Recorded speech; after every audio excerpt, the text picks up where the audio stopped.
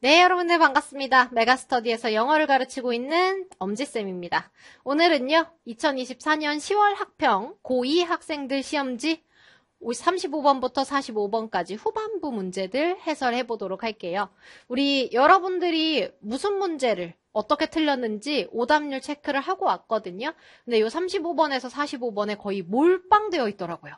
많이 들렸더라고 이쪽에서. 아마 앞쪽이 앞쪽도 어렵고 뒤쪽도 어려운데 앞쪽에서 시간을 많이 썼을 거 아니야? 그래서 후반부에 시간이 부족하지 않았나 이런 생각을 해봅니다. 어쨌든 요 어려웠던 문제들 어떻게 풀었어야 되는지 하나하나 체크해 보도록 할게요. 35번입니다.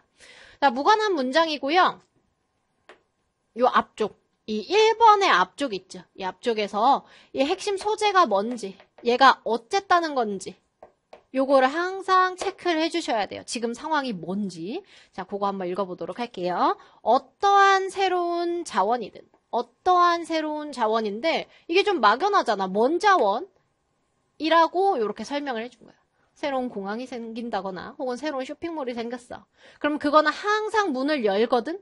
사람들이 이득을 보는 것으로 문을 열거든? 개별적으로 이득을 보는 것으로 문을 열거든? 이래요.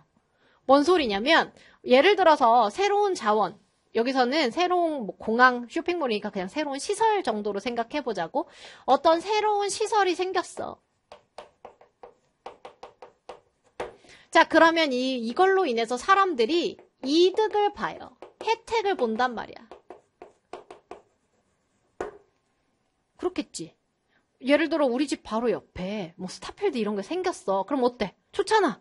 혜택을 보잖아. 아, 사람들이 개별적으로 혜택을 봄으로써 출발한다는 거예요. 이때 오페는 문을 열다도 되지만 우리 우리 가게 문 열게요. 개시합니다도 되죠. 장사 개시. 개시하다 해서 조금 더 확장해서 시작하다란 뜻도 되거든. 여기서는 시작하다가 가장 맥락상 좋습니다. 이런 공공의 자원을 공유함으로써 개별적으로 이득을 보는 것으로 시작을 한다라는 거야. 공유의 자원이라고 해서 여기 뭐 예산 이렇게 되어 있는데요. 이거는 뭐 별소리는 아니고 우리가 새로운 공원이 생겼어. 뭘로 지어? 뭐 지자체 예산으로 지을 거 아니야. 그러니까 그 얘기야. 자, 곧 어떤 지점에 이르면요. 양, 사용의 양이 너무 커져요. 자, 그래서 이 커먼즈가 지탱할 수가 없을 정도로 커진다는 거거든. 이때 커먼즈가 공유지라고 해석하시면 됩니다. 공유지. 공유지가 감당하기에, 지탱하기에는 너무 커져 버린다. 사용량이. 이때 트래픽은 교통량 하셔도 되고 사용량 하셔도 됩니다. 자, 공유지라는 얘기가 갑자기 왜 나오냐면 이게 바로 공유지야. 새로운 시설. 공공으로 이용하는 곳이잖아. 이 공유지가 사람이 너무 몰리니까 이용량이 너무 커지니까 이제 감당이 안 되는 지경에 이르는 거야. 이렇게 돼요. 됐나요? 응, 뭐 여러분들 주변에 갑자기 뭐 기차역, KTX 여기 생겼다고 생각해봐. 처음에 너무 좋지. 와, 나 이제 막 부산도 빨리 갈 수 있고, 뭐 서울도 빨리 갈 수 있고, 너무너무 행복해. 그런데 이제 거기가 좋다는 걸 사람들이 다 알게 될 거 아니야. 야, 거기 가니까 엄청 편하대. 사람들이 엄청나게 몰려오기 시작해요. 그래서 엄청 널널하고 화장실도 깨끗하고 좋았는데 주차하기도 좋고 좋았는데 사람들이 많이 몰려들기 시작하는 거야.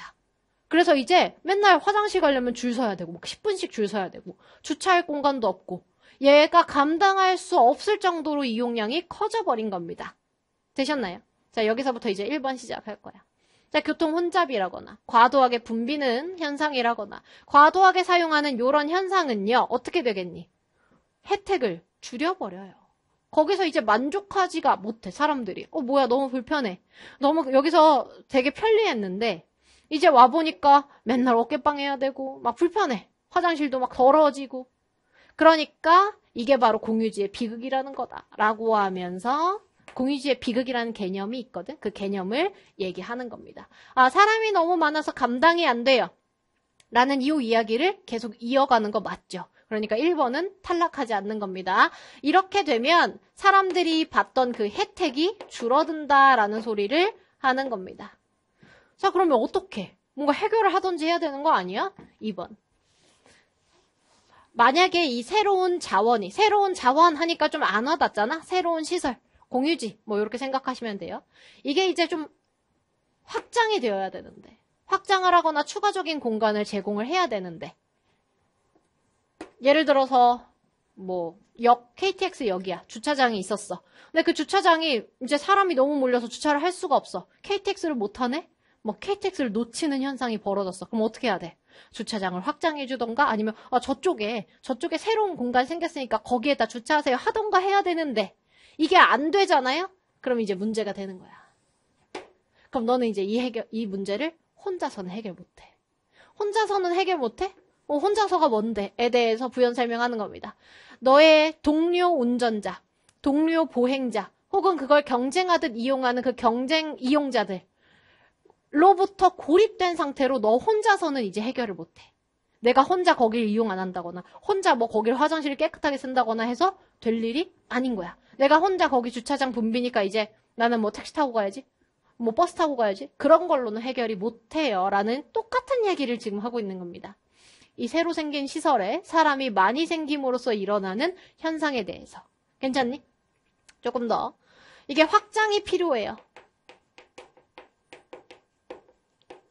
근데 이게 만약에 안 되면 그러면 이게 문제가 됩니다. 해결이 필요한데 해결이 안 되면 문제가 된다. 그 다음에 3번. 총 활동이 on this new resource 이 새로운 시설, 새로운 자원에서의 일어나는 총 활동이 계속해서 증가해요. 그리고 개별적인 활동도 또한 그래요. 개별적 활동도 증가해요. 개인이 김엄지가 그 KTX 역에서 하는 활동이 있을 거 아니야. 예를 들어서 나는 거기에서 뭐 한 10분 정도 머물렀었는데 이제 거기가 너무 좋아가지고 막 30분, 40분씩 머물러. 그럼 개인의 활동량이 3, 4배가 됐다라고 생각하시면 돼요. 그런데 개인의 거기에서 머무는 시간도 늘어나고 활동하는 양도 많아지는데 거기에 오는 사람까지 많아진다면 어떻게 돼? 그럼 총 활동량이 늘어나겠지. 그냥 그 얘기 하는 거야. 다시 말하면 이 붐비는 현상이 지금 해결이 안 되고 오히려 과열되고 있어요. 점점 더 과열되고 사람들이 많이 붐비게 된단 말이야. 이렇게 되고요. 그러면 만약에 이러한 공동의 사용과 과도한 사용이 계속해서 이어지면 너무 길게 이어져 버리면 이제 어떻게 하는 사람이 생겨나겠니? 나 김엄지는 그동안에 그 KTX 너무 만족하면서 탔거든? 근데 어, 느 순간부터 거기 가면 계속 사람들 너무 많고 어, 너무 불편해. 안 이용하게 되는 거야. 점점 점점 점점 거기에 오는 걸 포기하는 사람들이 생겨나겠죠. 그러니까 그 동안에는 활동량이 점점 늘어요. 그러다가 정점 이후에 떨어지기 시작합니다. 정점을 찍고 그 이후에 to fall 떨어지기 시작해요. 그게 바로 몰락이다. 그러니까 이게 문제가 돼서 활동량이 계속 늘어나. 이 문제가 어떻게 되는지에 대해서 설명하는 거였네. 3번은. 활동량이 늘어나고 결국 그래서 몰락하게 돼요. 사람들이 아, 나 거기 안 갈래. 차라리 딴 거 타고 가. 하게 되는 거야.